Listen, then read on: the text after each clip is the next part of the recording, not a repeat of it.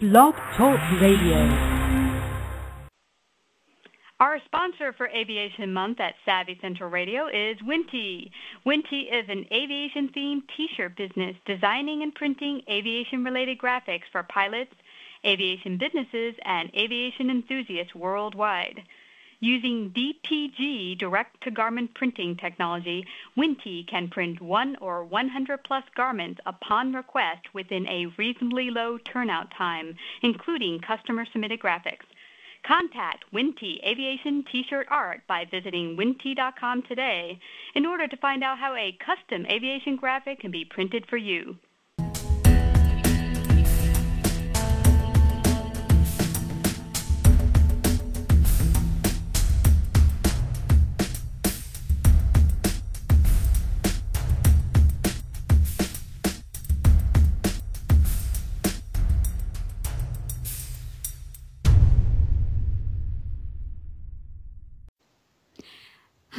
Bryan. Thanks for coming on and speaking to our listeners. How are you doing today?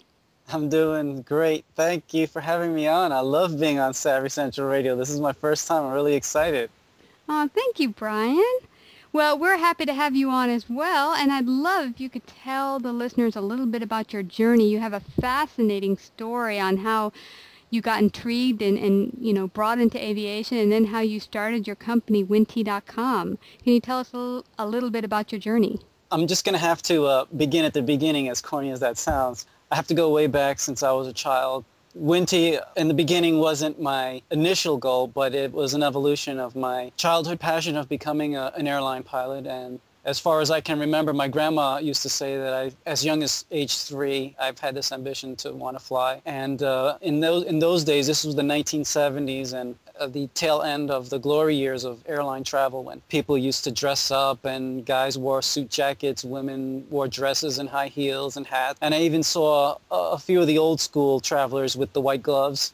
My mm-hmm. mom came from that group, and so did my grandma flying was a was an adventure. I mean, you we'd go out to Kennedy, and I, I'd see the travelers there. Everybody was excited, and there was this energy of like, we're going traveling, we're going to see this new place, and in the midst of all that, I'd see the airline pilots walk back and forth through the terminals, going to their airplanes with their flight crew and the flight attendants. And I don't know, I, I, the visual was just so overwhelming. I admired those men who wore those pilot suits with the stripes on their sleeves and the hats. They looked so professional and so cool.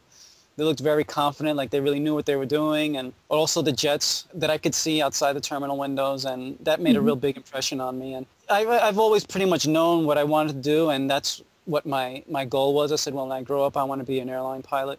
Mm-hmm. And uh, over the years and, you know, flying on the planes, I've had the privilege of going into the flight deck. Back in those days, the flight attendants, if you just placed a request and said, you know, could I just go up to the front and, you know, see the, the cockpit, and they would just grab my hand and they would take me to the door, and I'd see what a lot of people say, all the clocks and the instruments, and everything was like lit up. It was like Christmas times 10, you know? Yeah. And it was like, wow, I see these guys sitting there. And that's when they had the flight engineers too. So it wasn't just the captain and the first officer. He had the flight engineer with his panel and that thing was lit up. And I was like, oh, wow. And I was six years old just drooling there at, at the entrance of the doorway and they take me back to my seat. So wow. years after that, I just had my head in the sky and trying to identify planes and the opportunities when I used to go flying and taking trips. I'd memorize the cards in the back of the seat and say this is a 707, this is 747, DC-9, MD80 and all of that. And it's cool. And you know, remember when we used to be able to go out and watch on the tarmac, or at least close to the window, and watch all the airplanes before they used to put barbed wire around all the airports? I know. I wonder whose brilliant idea was that to put barbed wire on. And, and, even even some terminals nowadays, you can't even look outside the window. I mean, you go inside this big room, you can't even mm-hmm. see out. I mean, it's just chairs, and it's like a holding cell. I mean, I'm really, really privileged to, to have said that. I've experienced that time, and even my parents used to tell me back in the days when Kennedy was called Idlewild and the time of the Beatles and even in the 60s. And I don't know if it's still there, but visitors could go outside on the roof.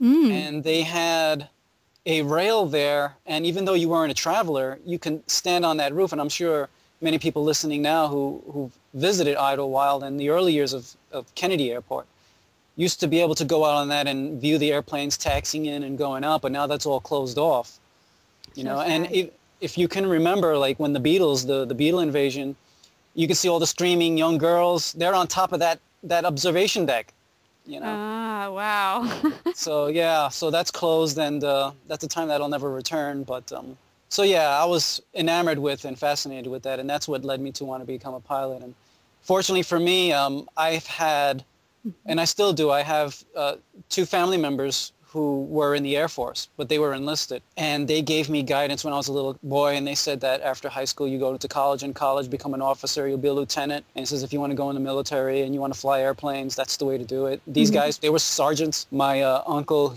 uh, used to jump out of airplanes. He was a skydiver. Mm-hmm. So uh, they, they gave me good advice, and for me over the years, I, I was able, in my interest, you know, search and research and read books. My mom worked in the library, so I would just go through the airline books and jewel over the pictures and like that's what I'm going to be. That's what I'm going to be. Not that's what I want to be, but that's what I'm going to be. Mm-hmm.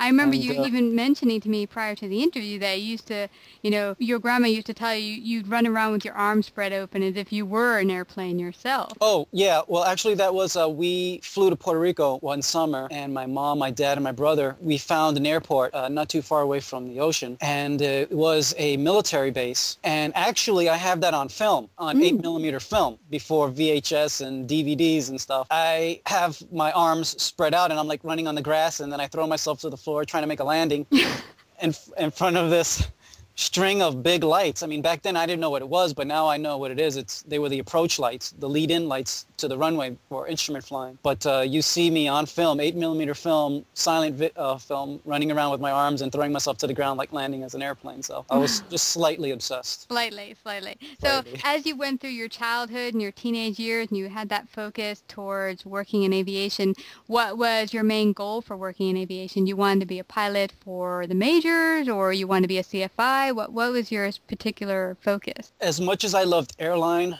flying, or at least the illusion of airline flying, mm-hmm. uh, because I know you know pilots today, especially professional pilots, they're going through the struggles of downsizing and the curse of the managers in the suits who are basically running these beautiful legacy airlines mm-hmm. into the ground and ruining a uh, beautiful profession. But uh, I won't go off on that. I wanted to be an airline pilot, but as I was growing up, I had a fascination and love for military aviation. And I had this somewhat of a romantic feeling for the Air Force because the Air Force was the Army Air Corps, the World War II, and the Berlin Airlift, and all of the, and the, and the Doolittle Raiders. I mean, the United States Air Force has such a rich history, mm-hmm. and I wanted to be a part of that. And I said, well, I'm going to high school, graduate from college, become a uh, second lieutenant, and fly jets. And at that time, I wanted to fly the F-15, and I said, well, I'll do my 10, 11 years as a fighter pilot. After that, join the airlines, and then retire, and then maybe go corporate after that because the, the limitations on airline pilots back then was age 60, now it's 65. But as far as I understand today, there is no limitation on corporate pilots. So I could have a threefold career, military, airline, and then corporate. So I could have experience mm. the entire spectrum. That's how it went down. That's yeah. at least that was the plan. You know? Yeah. So I, I know you had mentioned prior that you um, did serve in, in, high school in ROTC, correct? Uh, that was in college. College. Um, yeah. I, in my first year of college, I was in the Air Force ROTC program, and uh, you want to tell listeners to a little bit about what that is? Some people might not know what that is, actually. There's three ways of getting into the military as far as becoming an officer. There's Officer Candidate School, OCS mm-hmm. or OTS. Um, with the Air Force, it's OTS, Officer Training School. I think that's what it's called. And after college, as a civilian, you go to a recruiter and they'll guide you in and they'll get you into OTS. And I think it's eight weeks or two months or three months of uh, intense military indoctrination. And once you graduate from that, you become a second lieutenant or a second Louis or the golden bars or butter bars that you get to wear when you get out. Mm-hmm. Um, the other one is Air Force ROTC. You go in as a civilian into a college of your choice that has that program. Mm-hmm. And for four years, you're steadily being indoctrinated as a military officer and a leader.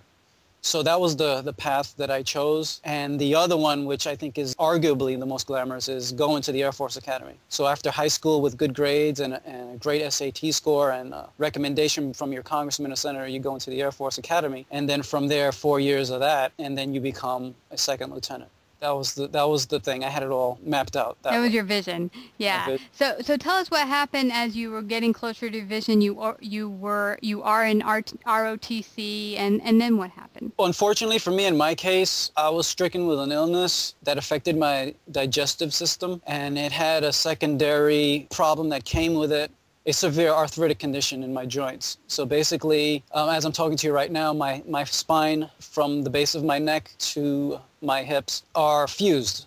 That obviously knocked out the opportunity of going into the military. Mm-hmm. Before the illness was fully manifested, in high school, I was fortunate enough to go to a vocational high school. And in that school, there was the aviation program and we had sponsors who paid for our flight training. We'd go out to Republic Airport on Long Island, FRG. If you guys want to look it up, it's FRG, Foxtrot Romeo Golf. And every Friday, the high school students of this aviation program would go out there and have flight training. We'd go up in 152s, we'd go up in 172s. But back in the school in Manhattan, where the school was, we'd have ground training.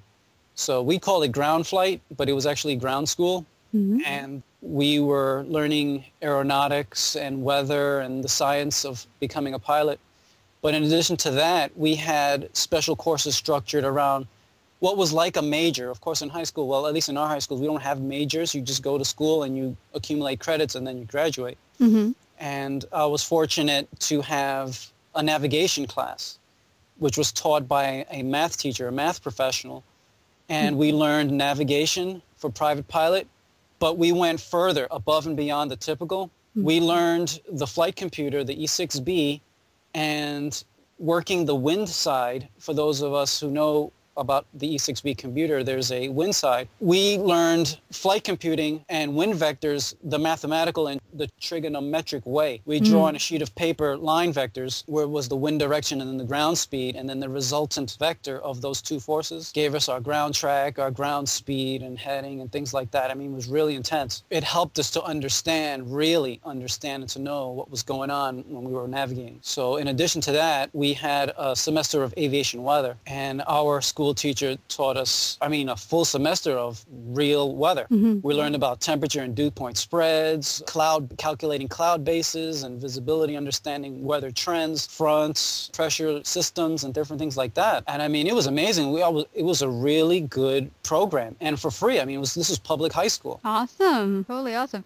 So now that you've gone through this program in high school and then you entered into college and was in ROTC, was that the time frame in which you got struck with this illness at that time? I need to add in a little something just before that. Okay. During high school, every once in a while during the summertime, I'd get additional flight training, paid flight training. I'd go out to the airport and out of my own pocket, I'd pay for flight training in addition to the flying that I was already doing in high school. I didn't get my private pilot's license when I got out of high school, so going into college is when I did my first solo and I was doing more of the advanced stuff and I was doing the, the solo flying. I had to come back to New York because I went to St. Louis to learn out there and continue my education here in New York City. And it was here is where I finished my private pilot training. I got my instrument multi-engine and commercial. So I did that here locally, but I didn't do that in college. During that time of, of training, the illness started to manifest itself. Long, to make a long story short was that I was diagnosed. My outlook on my goal was changed. Mm. It was it was a big blow. It was for those of us who know who love flying I mean, an illness or a tragedy or, or, or money or something in somebody's life to, to take you away from something that you really love is, it's, it's, it, really hurts. Yeah. So, um, yeah. Do you mind telling the audience what, what it is that you have? Without giving too much detail, I just want to say it's a gastrointestinal disorder that affects my digestion. On the surface, what's visible is the the arthritis. They call it ankylosing spondylitis. It's a severe form of arthritis, which basically attacks all of your joints. But at least in my case, it's most pronounced in my back and in mm. my hmm. neck. But I do at least have some articulation near the waist. Mm. And that's what's going to lead to um, a- another part in my, my journey because um, when that was happening, I had to stop work. Mm-hmm. I mean, I've been very fortunate enough and blessed to have parents who took care of me during that transition. I mean, because if I didn't have their help, I don't, I don't know what I would have done during this, this difficult time. And while I was on my back lying in bed, just being tired of being tired and sick and tired of being sick and tired, I was like, you know what? I, I got to do something with myself. I mean, I've got the certificates. I have this ability to draw. I'm an artist because ever since I've been a child, I've been drawing things. Mm-hmm. And why not make a business to at least highlight my aviation and practice art at the same time? Mm-hmm. I drew up a, a small business plan and a vision, which is now Windtee. At first, I didn't know how to really do it. I just said to myself, just put it on paper, get it organized, get the thoughts that you have in your mind. It's well organized. Just put it on paper and see if I can get investments, you know, in order to help me do that. Mm-hmm my parents, as, as beautiful as they are, they helped invest in my business and they fronted the money. The part that was difficult, and I know you were probably going to ask me later on in the interview, mm-hmm. uh, some of the struggles that I had, so I might as well just jump into that now. It was execution. I, mm. I knew what I wanted. I already had the vision of Windtee, but how do I execute it? And I'm sure that's a problem with a lot of small business oh, owners oh, yeah. that they have fantastic businesses. And Christina, you know too with your business, we have fantastic ideas as entrepreneurs, but how do I make it a reality? So I was wondering, should I outsource my work? Meaning, do I do all the graphics at home and have a screen printer do the images and then sell and distribute that way through a website? Mm-hmm. Not sure of the quality of the screen printers or the turnaround time or the responsibility. I wasn't pleased with what I saw. And, and in fact, Christina, you got to see some of the early samples of the screen printers that I got. Yeah. I was like, you know what, this is not going to work this way. There has to be another way. I didn't want to buy my own screen printing equipment because any screen printers out there listening do know how much of a headache it is to run a screen printing business. I mean, you have the equipment, the screens, the inks, the squeegees, the spraying, the preparations of the screens, the exposures, the color separations. I mean, it's like not just a job, it's a workout. And, you know, I mean, I didn't want to go through that, especially the way my body was feeling. But fortunately for me, I discovered direct-to-garment printing, DTG, and I said, you know what? If I get my own printers, this way I can directly from the computer put these digital images on fabric and distribute it that way for lower cost. Hmm. So that's how Windtee was born. I bought my first printer about four years ago and I started the images. I built the website myself because I had to do everything pretty much on a shoestring budget with the limited funds I had. And uh, I went to lynda.com. That's a fantastic website. Anybody out there who's inter- interested in website design and development and graphic design and art, go to lynda.com because How they really do. L-Y-N-D-A.com. That's where I learned to, to build a website. So the website you see now, Windtee, I, I designed and built that myself. I now have an interface and people from around the world, I've sold Windtees to, off the top of my head, I guess almost 20 countries around the world, including Russia, Israel, Australia keeps, keeps coming up multiple times, the UK, Greece. This, uh, it's just all over the place. Many states in the United States and Canada, lot, lots of them in Canada, of course. That's fantastic. Can you tell the listeners, you were just mentioning struggles before, how did you get your business moving? Because now you're in a six-figure range. How did you finally get off and take off? Because I know a lot of small businesses get started and like myself, thought, hey, people are just going to be banging my doors down for my product, and that's not the case. So how did you really get going? How did it happen for you? Yeah, I'm, I'm glad you brought that up because that is not the case. I mean, you can have the greatest invention that the world has been seeking for centuries, and if nobody knows about it, you can just forget about it. you know? So that's how it was. I mean, I didn't know how to market myself, so I had to do it like on the cheap, meaning like a like a Facebook or Twitter thing, and try to do the word of mouth at the airport and see if I can make connections and do it that way. But uh, the first year was very difficult. It was very slow. And uh, fortunate for me, I found an aviation magazine, a startup aviation magazine, and I was advertising through AOPA on the, the back pages. And one of the, um, the founders of the magazine contacted me to make 600 prints for these people front and back for their launch. And, you know, one thing started from there. But the real big kicker was somebody in the garment industry, Midtown Manhattan, was mm-hmm. looking for a direct-to-garment printer. And this is the thing where having contacts and maintaining a business relationship with your vendors and people you meet is very important because that next person you meet can be a multi-million dollar deal basically overnight. Mm-hmm. So uh, that's what happened to me. Not the million dollar part yet. Yet. Not yet. But uh, I'm on my way. They, this particular high profile graphics broker contacted the manufacturer, or I should say the distributor of the equipment I bought. And they said, hey, we need to look for a DTG printer. Are you interested? So I basically auditioned with a sample of one of their samples and I was hired what this the way this works is they are licensees and they have licenses to high to popular graphics like Nintendo, um, Mario Brothers, uh, Sonic. Yes, yeah, Sonic and Sega and all uh, video games and even movies like say like the Chipmunks one time when, when it came out. The the owners of these images and of these movies, oh Disney and Pixar, all those people, they sell licenses to this broker and they develop the images to however which way they want it but there's a there's an approval process.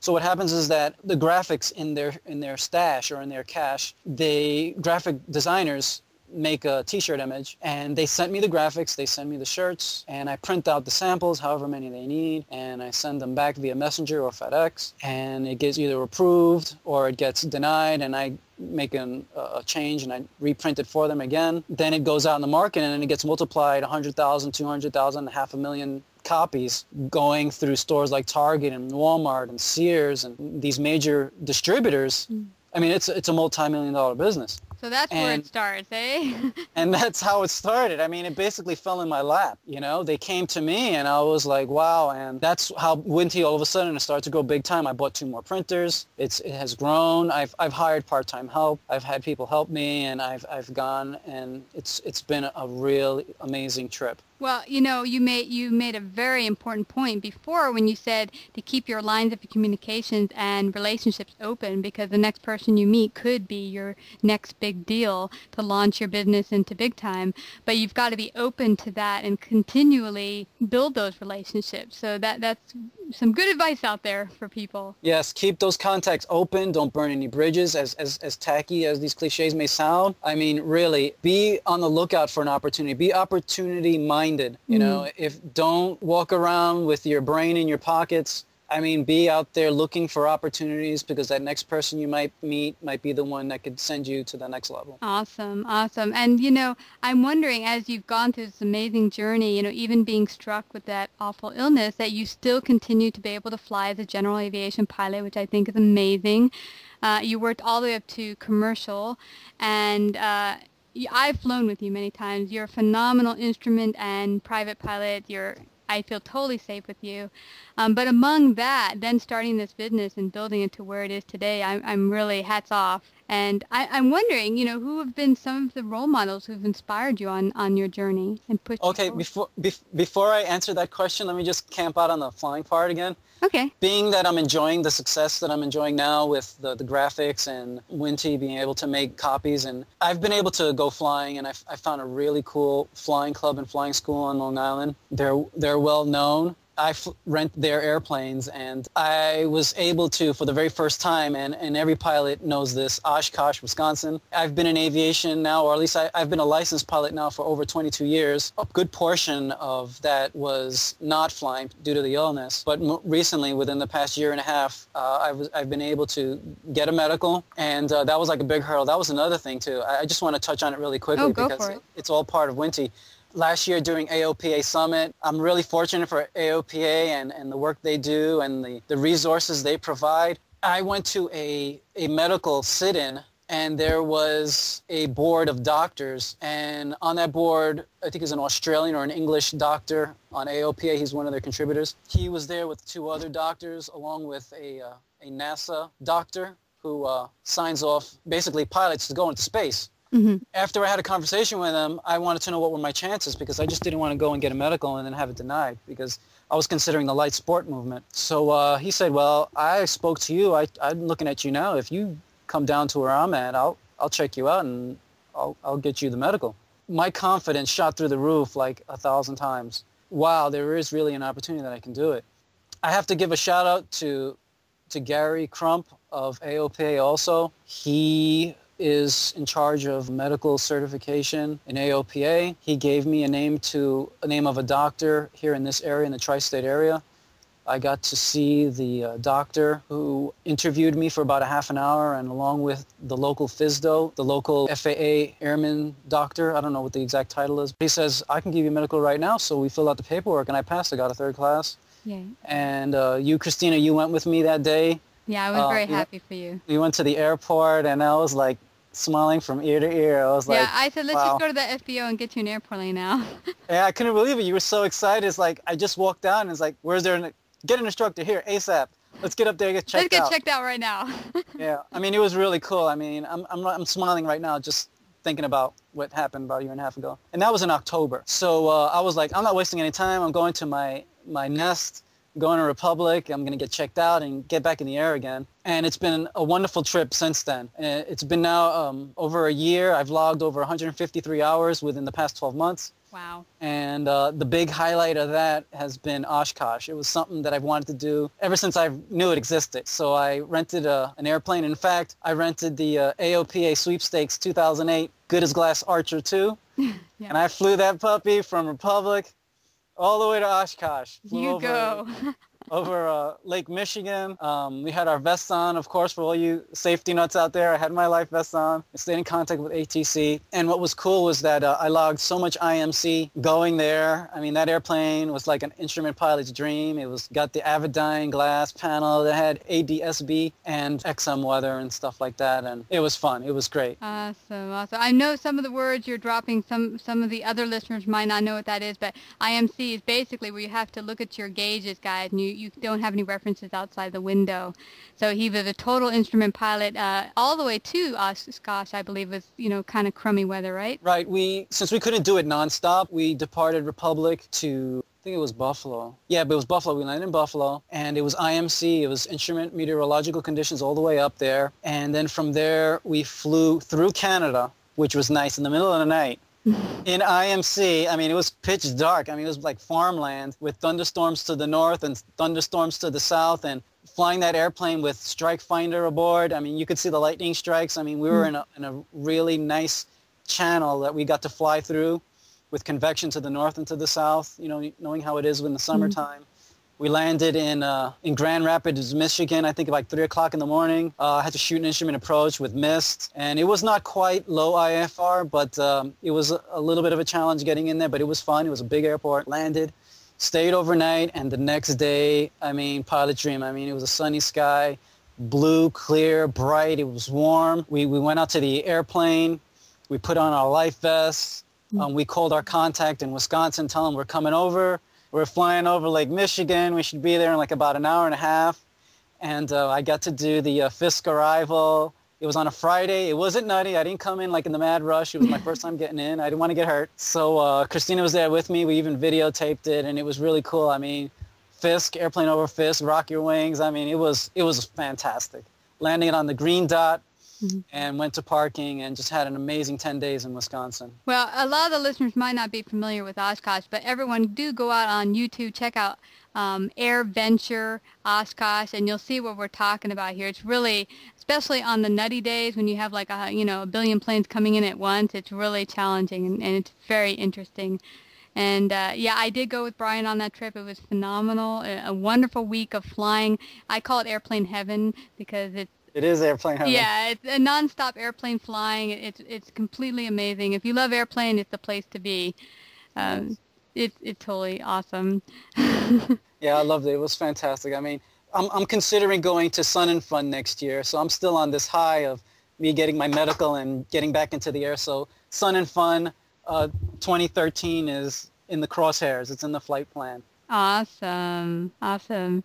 So as you've gone through this, you know, whole journey, and it's been an amazing journey, Bryan. Have you had any anyone in particular that's inspired you and propelled you forward in, in your business and in life? Well, it's not just one particular person, but I, I, I don't want to sound overconfident or cocky here, but I have to say myself first because uh, I'm a personal inspiration. I mean, the struggles that I've gone through and still dealing with. I mean, I'm still dealing with the illness, but I'm not letting it knock me down. And uh, if I can persevere through that, you know, somebody who's in good health, you know, we all have our own obstacles, but the ones who win are the ones who never let themselves get knocked out. You get knocked down, but don't get knocked out. Just keep it going, keep your eyes on the prize, and keep it moving forward. That's I have to put myself first with that.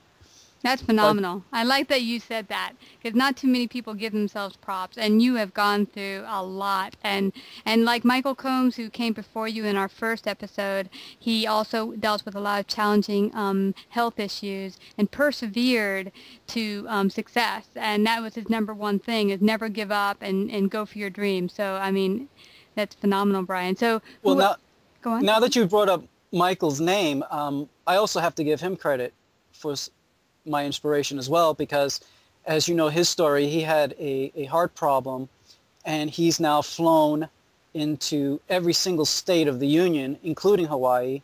And uh, he did it all in a light sport airplane. I mean i don't know how he did this guy's amazing. And uh, i got to meet him in oshkosh.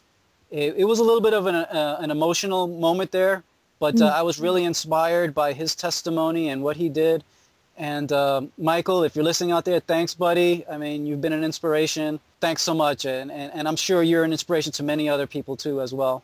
So in addition to Michael, I'm just going to add some other people because it's not just, you know, one person. Mm-hmm. It's, it's basically a group of people. And I'm sure a lot of people have heard of these names. Jeff Bezos of Amazon, uh, Mark Cuban, who owns the Dallas Mavericks, Barbara Corcoran, who's a real estate mogul here in New York City, Tony Robbins, Robert Herjavec, one of the, uh, the Shark Tank members. And the reason why I'm naming these people, these people were not born wealthy. Mm-hmm. These are everyday people like you and me who had the entrepreneurial spirit that never give up. Defeat is not an option. And Michael, I mean, Jeff Bezos, for one, who started in his garage, now worth more than $23 billion. Can you believe that? Mm. Owner of Amazon. Mark Cuban, who, who started a, a I think it's an, an internet or radio business and he's worth over $4 billion and he holds the record of the highest purchase, internet purchase. I think he bought a Gulfstream 5 for 45 million bucks on the internet. I mean, he owns the Dallas uh, Mavericks and then Barbara Corcoran who, who started with $1,000 in the 70s and now has a billion dollar real estate enterprise here in New York City, well known. Mm. And it's people like this. I mean, Tony Robbins, you know, washing dishes in his tub Robert Herjavec, who was a, an immigrant. I mean, he wasn't even born in the United States. He was born in Croatia. Wow. And he's a multi-billionaire here in the United States. I mean, a really nice guy. I've never met him before. But it's people like this who give me the fire and say, you know what, if you started from nothing and you are who you are today, there has to be something special about you. And those are the people who motivate me. And you know what impresses me is that often people go straight for the millionaires and say this person and that person. Every single person you named on your list is a billionaire. And yeah, you, billionaire a billionaire. And soon, With Bryan, a B, bravo. Bravo. And soon the, the Windtee, Bryan of Windtee will soon be joining the ranks. Right, soon. So look out for Windtee because Windtee is a force to be reckoned with.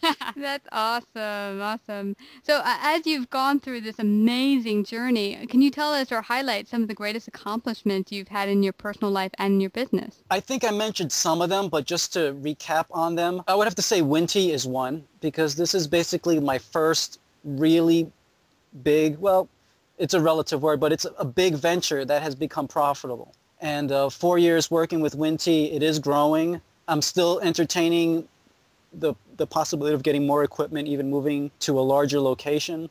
But also, I'm considering branching off into other business ventures with Windtee being the parent company.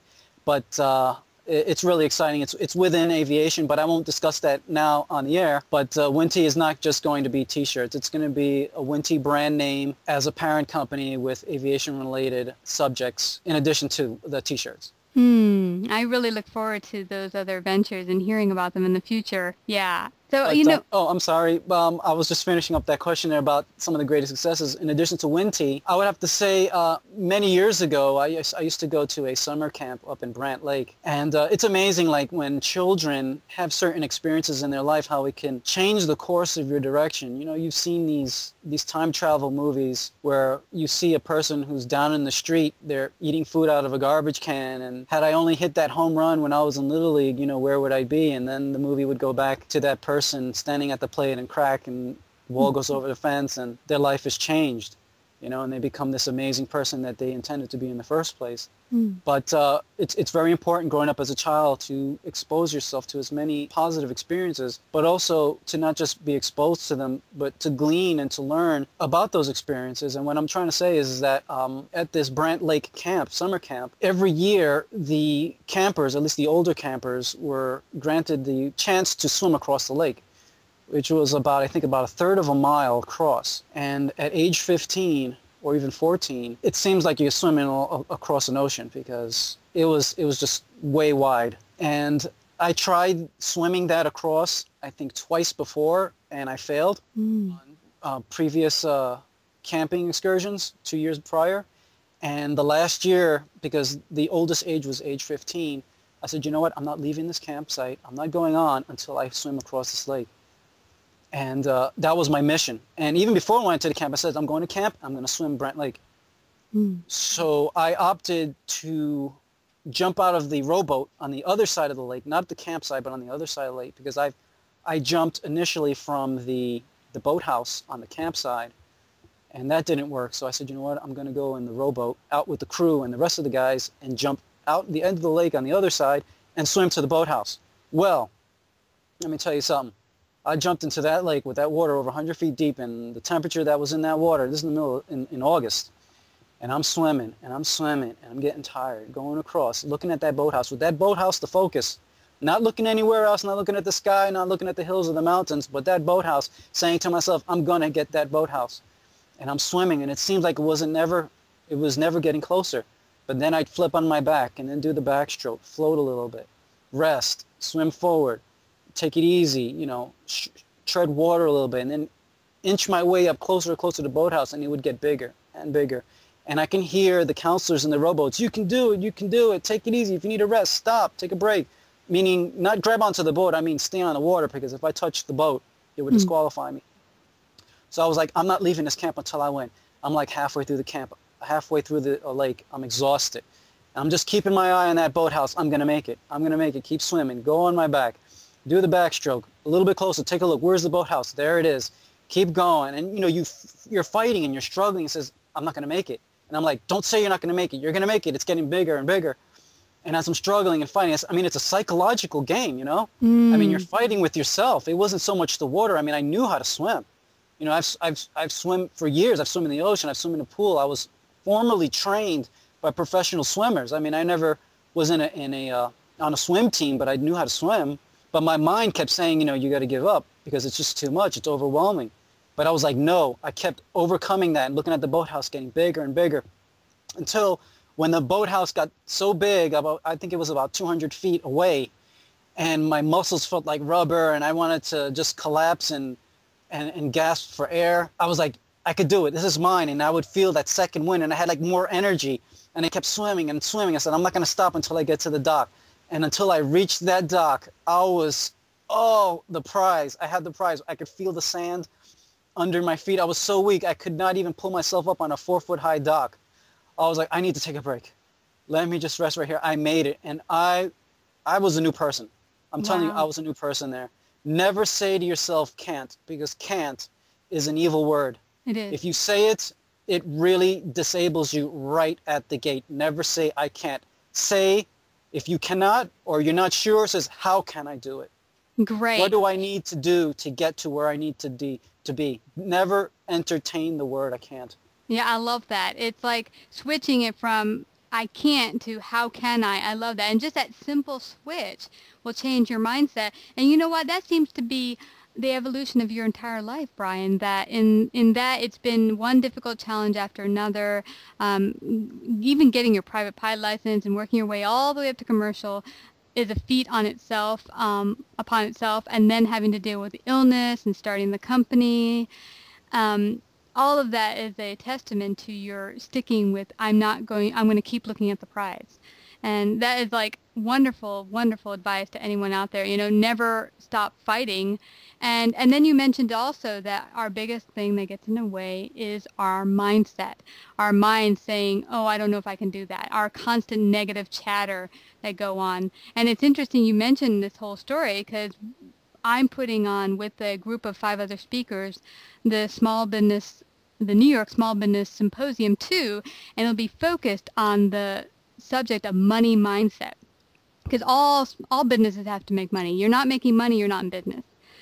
So um, the bottom line is what gets in people's head that stops them from doing well in business is their mindset. To, you know, you'll get started in business, you don't have that door banging down with clients you immediately think, well, what's wrong with me? You start beating yourself up. You don't do the proper things to get things moving in your company. And it's not going to be overnight. Rome wasn't built overnight. It's going to be like you in that in that uh, lake, bit by bit by bit, you know, but not giving up when you see the prize that it's it's there. You just got to keep going. Yeah, you got to you have to stay focused and you have to believe in your dream, in your vision, and you just have to keep pushing it. I mean, we have a lot of difficulties in businesses and a big portion of it is money, yes, but aside from money and other challenges business owners have, the one that you really have control over is yourself. Mm. And if you believe, I mean, notice the word I'm saying, if you believe it's impossible, you know what? It's going to be impossible. Yeah. If you believe that it can't be done, you know what? It's not going to get done. Mm-mm. So don't sabotage yourself. You know, start with the right mindset. Even if you don't believe it, say to yourself, I will make it. I will succeed. Mm-hmm. But don't just say it empty, you know, out into the air and, and not follow through. As you're saying, I will do it, educate yourself. Surround mm-hmm. yourself with pictures, with books. Talk to people that'll keep you inspired and motivated, that'll keep you on target, you know, focused on that vision. And as you constantly expose yourself or dose yourself like medicine, mm-hmm. the, the reality, I mean, the dream becomes a reality little by little. Mm. It's like, you know, swimming in that lake. You know, you're going through your struggles. You feel like giving up, but you know what? I see the boathouse. Mm-hmm. I, I see my success. But you know what? I feel like giving up and swallowing water and going down. Don't mm-hmm. do it. If you're swimming, you know, it's like an emergency. I mean, my flight instructor, and I'm sure a lot of good flight instructors out there, they'll say, whatever happens in the airplane, keep flying the airplane. It's mm-hmm. aviate, navigate, communicate. And there was this one time, I'll, I'll just add this in. Mm-hmm. Um, I was already a private pilot, and I was flying in the mountainous areas of New York City. Uh, not New York City, yeah. Those would be the buildings of New York City. yeah, the mountains in upstate New York. I took off from a, uh, a non-towered airport, and as I'm climbing, the engine was getting rough. And in my mind, I was like, oh no, what's going on? Is this going to be my first uh, engine failure on takeoff in a mountainous area? And you know what? I, I couldn't believe it. I heard my instructor's voice, literally, in my head saying, keep flying the airplane. Keep flying the airplane. As long as I have power, keep that throttle in there, keep flying the airplane. And while maintaining control, I'm troubleshooting, I'm going through, you know, cigar tip, you know, controls, instrument, gas, you know, going through my checklist, my mental, my flow of my emergency checklist all the way through the magnetos and everything troubleshooting. And uh, I'm a little embarrassed to say this, but the thing was that I, I, I, took off on one magneto, one side of the magnetos. The thing was that I didn't have the uh, magneto set on both. So evidently while I was doing my run-up, I somehow missed putting the, uh, the key on both. Mm. So that's why the engine was running rough on takeoff. But I didn't panic. I didn't lose control. I had power. The plane was climbing. I kept flying the airplane. So with your business, keep flying the airplane. You know, mm-hmm. challenges will come up. Keep flying the airplane. Yeah, don't move forward. You yeah. know, keep going. Yeah, never throw in the towel. And you had mentioned prior, surround yourself with pictures and, and material and people don't surround yourself with negative people that are going to say you can't either. Get away from those negative people. Expel them. Expel them. I like that. Expel them. You're fired. You're fired. you know, really. I mean, it, it's because it, it's the can't word. I mean, it's can't manifested in a different way. Even if they don't say anything, their body language, their energy. I mean, you cannot be around people like that, and especially if you're a, a new business owner, an entrepreneur, a fledgling entrepreneur and you're trying to grow your business, you cannot because they're not in your bulk, they're not in your park. They're not in the same league as you're in. Mm-mm. I mean, you're not manifesting the money that you want to, but your mindset is not in the same park. You're not even playing in the same schoolyard. You need to leave the premises. leave those people behind. You know? I love that. no, but it, it's very true. There's a lot of people I've uh, the past year since I started my business, I'm just not talking to at all or very much. Um, and it's because, like you said, they're in a totally different mindset, ballpark. They're the nine to fivers going to work, and there's nothing wrong with you know going to a nine to five job and being happy with that. But they can't understand what it's like running a small business, and a lot of their thoughts or criticisms or even help will not be helpful because they've not in, they're not in the position. And uh, one mentor I was working with last year who was just giving me advice on my business on Twitter and such uh, Debbie Burnt was saying, well, you know, who's making money? Are your friends making a six-figure salary or am I? So I think I'd listen to me. I was like, good, good point, Deborah. yeah, I mean, I'm not saying disown or banish these people. Uh, no. That's not what I'm talking about. I'm saying when it comes to business mm-hmm. and it comes to your idea, I mean, these may be well-intentioned people.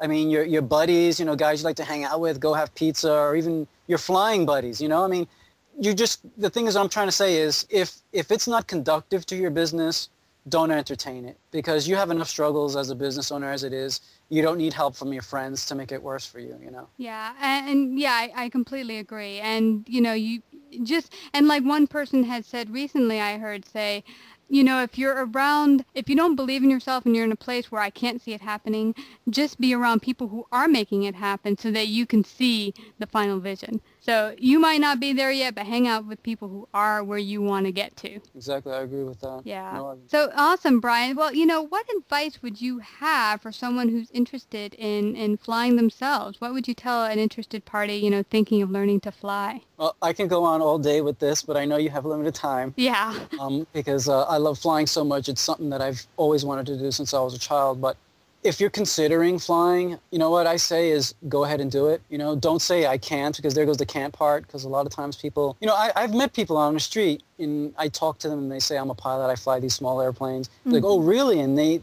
they're really fascinated because for the most part, people think of aviation and airplanes. It's, you know, the airlines, you know, the large jet airplanes flying overhead, irrelevant to their life. Mm-hmm. But when you say, you know what, I fly my own airplane. I've flown to this state. I've flown to that place. I've flown here on my own, pilot in command mm-hmm. it's like, wow, you really do that. And then, you know, the danger part does come up and I do address it in a responsible way. But you know what? There's lots of risks in life. And flying is risky by nature, but it's not dangerous. What makes flying dangerous are the people. Mm. If you're a responsible person, you're disciplined, you stay on your game, you fly within your limitations. If you're a private pilot, only comfortable flying in visual conditions, well, fly in visual conditions. There's nothing wrong with, you know, getting out of that. In fact, you should stay in that realm and not hurt yourself. If you are an instrument pilot and you say, well, you know what, I, I have a, an IFR ticket and I could fly down to 200 and a half in all kinds of funky weather, but you know what, I'm not comfortable if the ceiling's 2,000 feet high and the visibility is no less than five miles. Well, then you know what, if that's your comfort level, stick with it.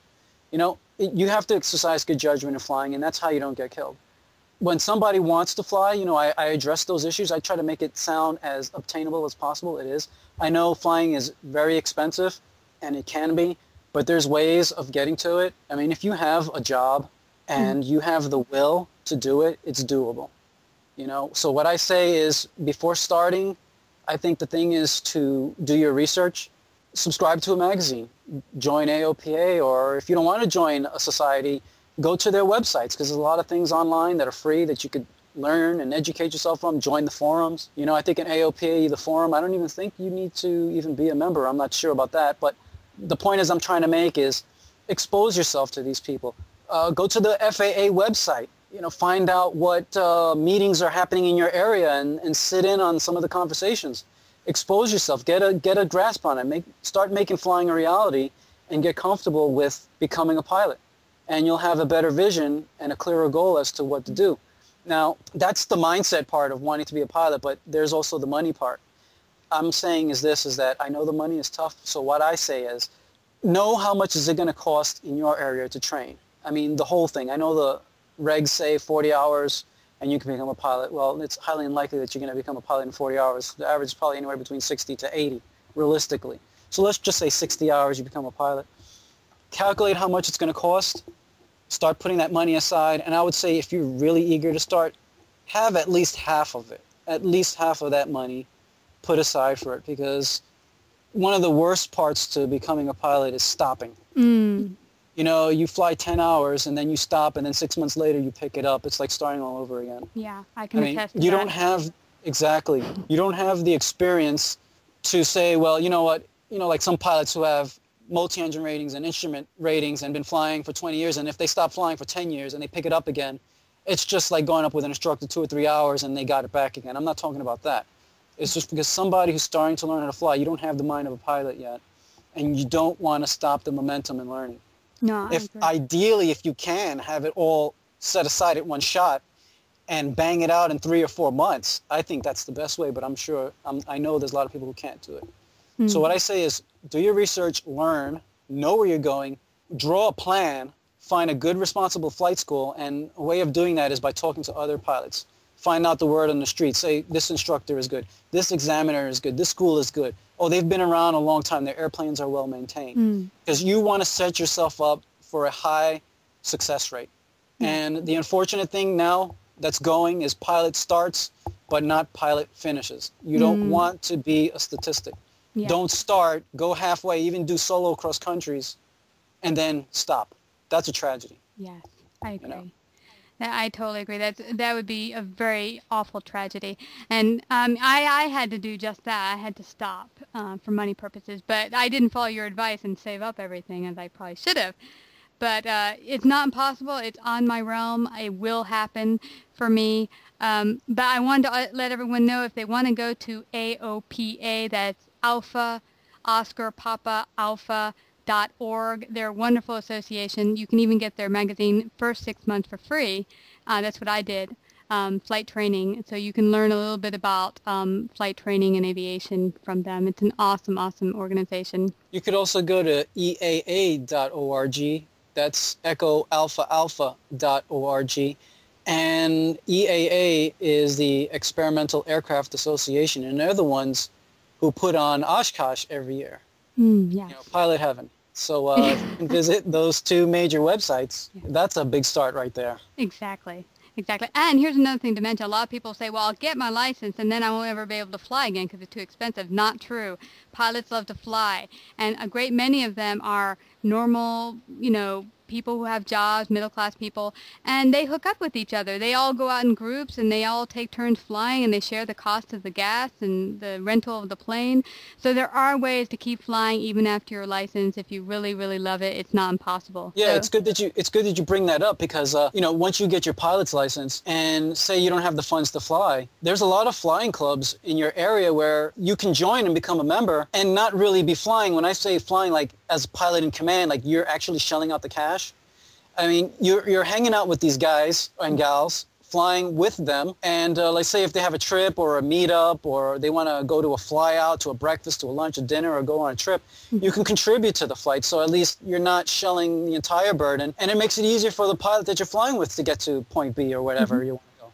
Yeah. So you know, just associate yourself. Don't say, "Oh, I got this expensive pilot's license, and now what?"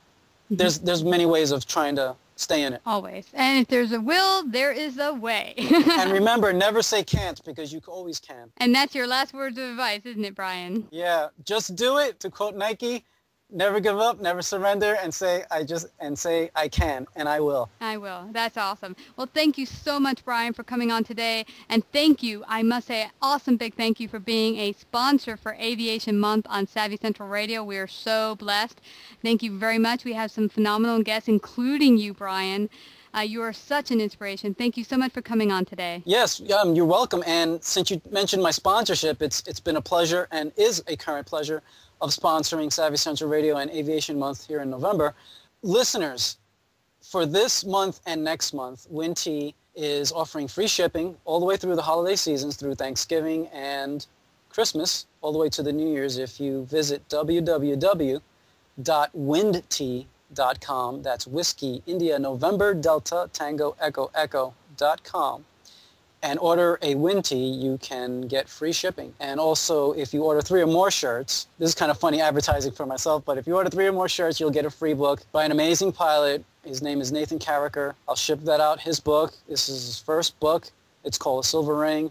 And uh, if you order three or more shirts with Windtee, in addition to your free shipping, you will have his book sent over to you, to the address that you supply. Awesome. So uh, take advantage of that, folks. That is great. And I love his shirts, guys. Go check it out. Wind T W-I-N-D-T-E-E dot com. Please check it out. I love shirts. I have a bunch of them myself. I think I have like 27. But they are phenomenal designs. no joke.